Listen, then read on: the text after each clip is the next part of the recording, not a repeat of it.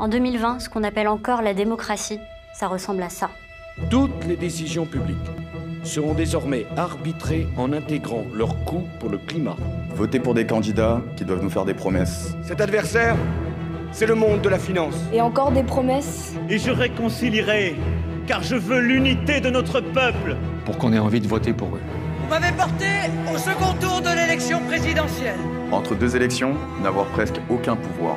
Et regarder la politique se faire sans nous, à la télé. Vous avez annoncé le déclenchement de l'article 49.3 sur le projet de loi instituant un système universel de retraite. On sait tout ça, pas vrai? Il y a un an, je ne m'intéressais pas à la politique. Certains d'entre nous ne croyaient même pas au réchauffement climatique. Je me sentais pas du tout légitime pour prendre la parole. Je n'avais pas du tout confiance. Un peu comme vous, j'imagine. Il y a 18 mois, en pleine mobilisation des Gilets jaunes et des marches pour le climat. Alors que l'affaire du siècle avait réuni plus de 2 millions de personnes pour attaquer l'État en justice. Un collectif a proposé de créer une assemblée citoyenne. Des femmes et des hommes, comme vous et moi, tirés au sort. Qui n'ont pas besoin de faire des promesses pour être réélus encore et encore. Après des semaines de négociations, le président a accepté de la mettre en place. Une première en France. Sur un sujet bien particulier. Sans doute la plus grande menace que l'humanité ait jamais affrontée. Le dérèglement climatique. Une menace bien pire encore que celle que nous venons de traverser. Et voilà ce qu'il a dit.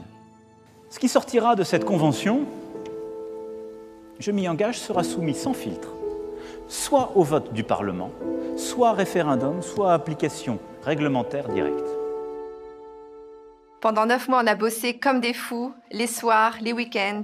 On a auditionné des scientifiques, des économistes, des banquiers, des agriculteurs, des juristes, des syndicalistes, des urbanistes, des chefs d'entreprise, des ministres. On a construit un plan pour éviter la catastrophe climatique et sociale.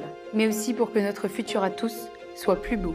On a cherché des solutions qui respecteraient tout le monde. Et d'abord les plus pauvres, les plus fragiles. Des solutions pour relancer l'économie, sans mettre la planète en danger. On sait que c'est pas gagné d'avance. Mais si ça marche, ça sera historique. Neuf mois plus tard, les citoyens ont fait le job. Et maintenant, c'est au président de tenir sa parole. Ça étonne peut-être, ça en contrarie d'autres, ça faisait peut-être longtemps que c'était pas arrivé, mais je fais ce que j'ai dit. Alors pour eux, pour nous, pour les Français. Maintenant, c'est à votre tour, Monsieur le Président. De tenir votre engagement, comme nous avons tenu le nôtre.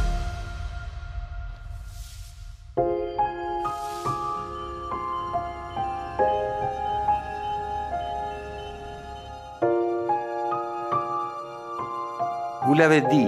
Plusieurs fois. Maintenant, faites-le. Les décisions à prendre engagent notre avenir à tous. Nous devons tous participer à les prendre. Faites-le. Faites-le. Faites-le.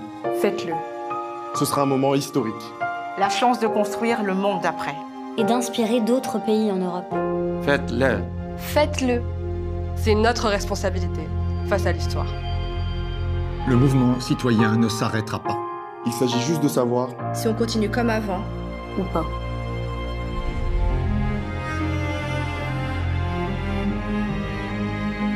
Partagez cette vidéo autant que vous pourrez. C'est le moment de réinventer notre démocratie. Si nous atteignons plusieurs millions de personnes, ce message ne pourra plus être ignoré. Alors partageons autour de nous.